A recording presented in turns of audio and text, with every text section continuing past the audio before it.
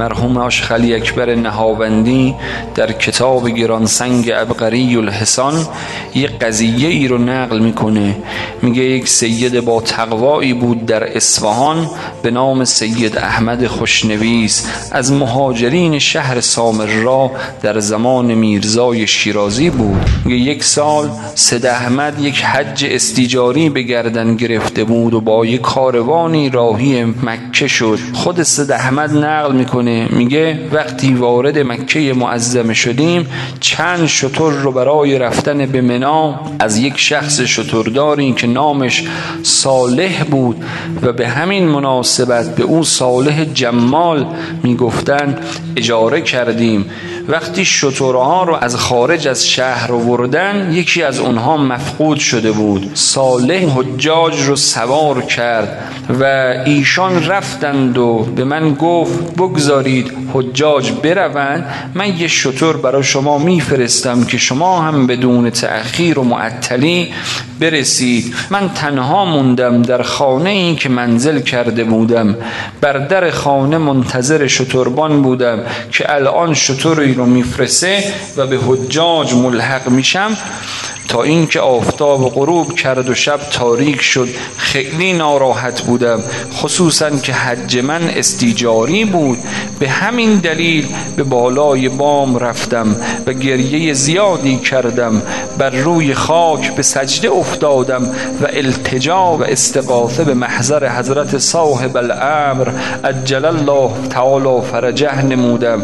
ناگاه مردی رو دیدم شکل شتردارها بود و در خانه ایستاده و با او شطوری است. زمام شطور رو به دست من داد و گفت اصلا نترس این شطور تو رو به حجاج میرساند و بعد از دقایقی دیدم از نظرم قائب شد.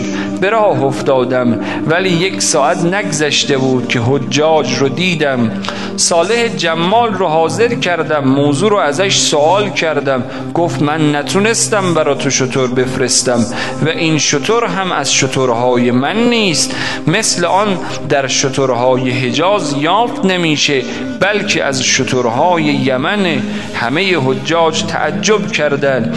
وقتی به مکه مراجعت کردیم و از اعمال حج فارغ شدیم حجاج خواستن به اوتان خودشون برگردن راهنمای کاروان به دلاله ها دستور داد تمام شتربانان رو جمع کنند و از اونها سوال بشه کدام یک از جریان شطور اطلاع دارند و کدام یک از آنها بوده برا من شطور آورده؟ هیچ کدام جوابی ندادند و اطلاعی از این مطلب نداشتند.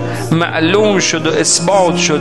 عنایت مولانا صاحب الامر و زمان بوده که شامل حال من شده. همین جناب سید احمد خوشنویس نقل می‌کنه.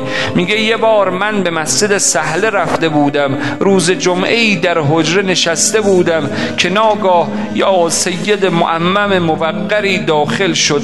به من فرمود هر روز صبح به نیابت از صاحب از زمان علیه السلام زیارت آشورا بخوان. ما هم روزی تو را جوری تأمین می کنیم که اصلا محتاج به احدی نباشی.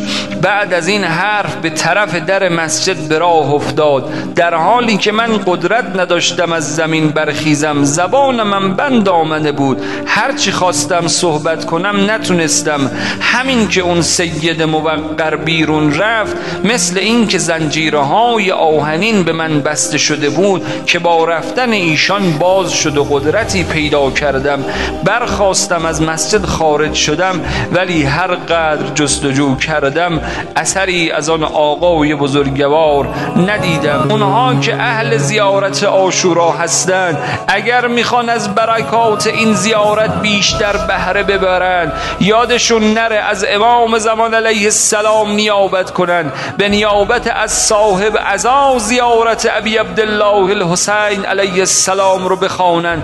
از طرف امام زمان سلام بدهند به آقا ابا عبدالله و آشورا را به نیت تعجیل فرج حضرتش بخوانند. آن وقت ببینند چه برکاتی در زندگیشون جاری میشه. امام زمان مدیون کسی نمیماند. السلام علیک یا بقیت الله فی ارضه. السلام السلام علیک یا صاحب الزمان. چیزی شبیه خورشید از سمت طلوع نرگس انتظار خواهد درخشید. اگر مؤمنان زیارت آشورای حسین مهدی فاطمه را طلب کنند.